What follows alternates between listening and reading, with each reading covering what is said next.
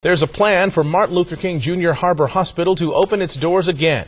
The University of California plans to partner with uh, the LA County to get the hospital up and running.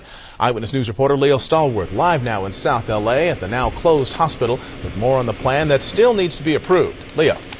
Now, LA County Supervisor Mark Ridley Thomas just finished up a news conference here at the hospital.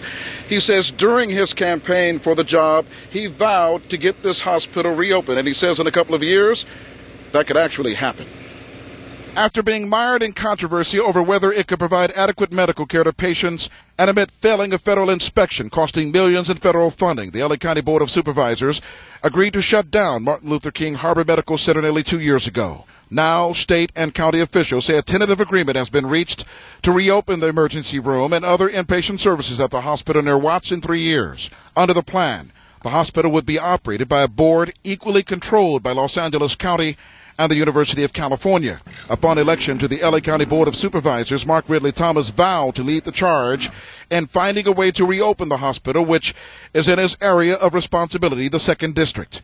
He's been on the job about 100 days, taking over the district from retiring Supervisor Yvonne Brathwaite Burke. I think to the extent that all parties, the governor's office, the governor himself, uh, the president of the University of California, uh, the chief executive officer, as well as the five board members of the Board of Supervisors have saluted this conceptual uh, framework. Uh, you have a deal in the making. Supervisor Ridley Thomas says the much improved hospital that he envisions would actually be built or constructed or housed in the building behind the old hospital. He says it would be in towers, about three layers.